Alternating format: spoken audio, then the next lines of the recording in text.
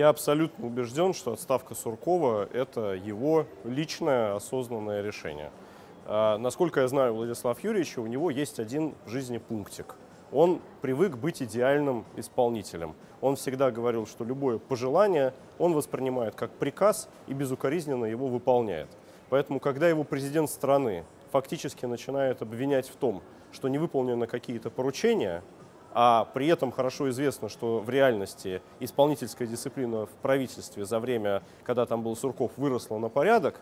Кроме того, Сурков не отвечает ни за какие содержательные направления, он отвечает именно за формальную сторону, за то, чтобы все было сделано вовремя, в срок, все отчеты предоставлены, и в другом отношении он ни за что не отвечает. И тут президент говорит, что вы плохо работаете. Конечно, для него это профессиональное оскорбление, и он на это реагирует вот таким образом, подает в отставку.